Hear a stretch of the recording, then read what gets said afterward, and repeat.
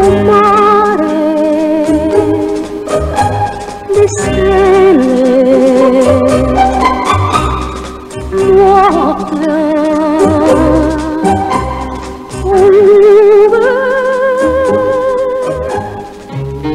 Întunericul amplifică în mod simțitor pericolele care îl pândesc pe omul de la volan căci, după cum este știut, vederea ne oferă peste 90% din informațiile pe care le furnizează mediul înconjurător.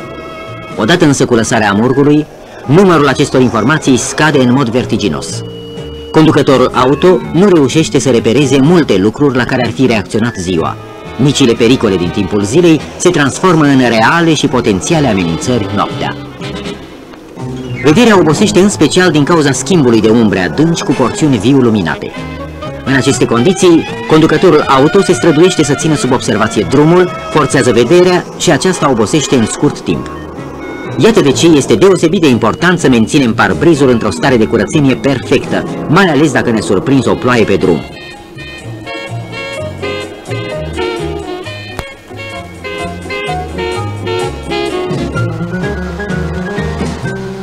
Să pierdem deci câteva minute și să ne oprim pentru a curăța parbrizul și geamurile farurilor.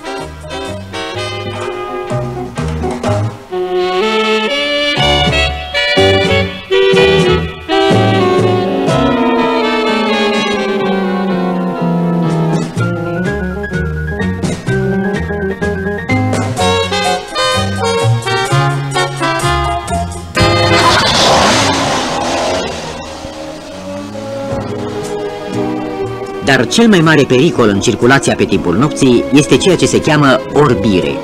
În asemenea cazuri, reduceți viteza și supravegheați cu atenție marginea șoselei, nu numai pentru a vă orienta, dar și pentru faptul că întunericul poate ascunde surprize.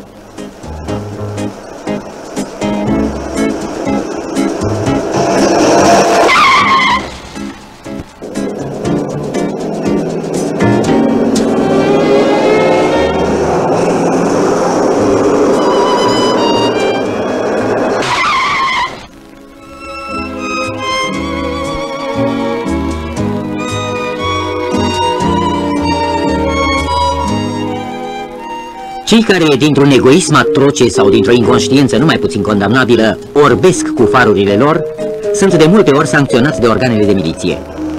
Dar asta nu înseamnă să vă bazați pe această satisfacție. Singura măsură este să reduceți viteza și să opriți scoțând mașina cât mai pe dreapta posibil.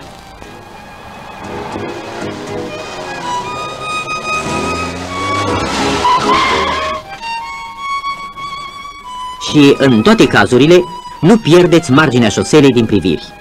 Și nu o pierdeți mai ales la viraje, a căror abordare presupune o mare prudență. La virajele strânse, prima măsură este să schimbați faza lungă cu cea scurtă, care vă permite să urmăriți cu fidelitate virajul.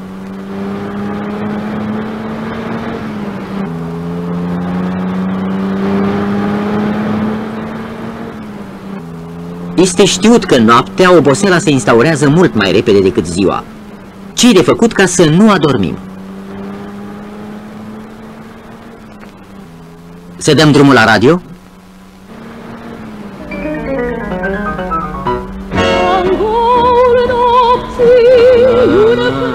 Să cântăm împreună cu el?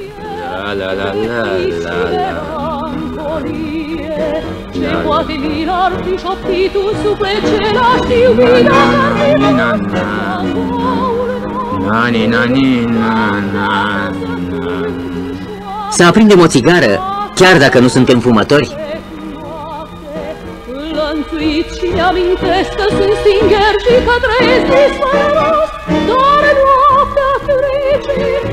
Nimic din toate acestea. Trucurile pentru alungarea somnului măresc și mai mult primejdia. Cel mai înțelept lucru pe care îl putem face este să oprim în primul refugiu și să dormim o oră sau două și chiar să visăm. Altfel, acest coșmar ar putea deveni realitate.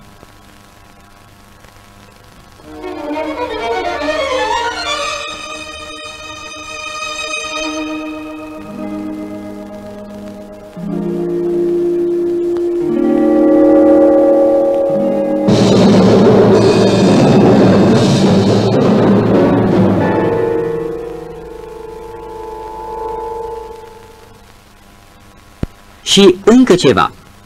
Cum nu există nimic care să poată prevedea neprevăzutul, o poliță de asigurare la ADAS este în toate cazurile cât se poate de binevenită.